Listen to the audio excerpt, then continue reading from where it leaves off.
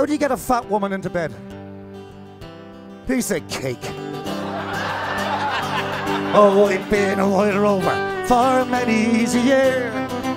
And I spent all my money on whiskey and beer.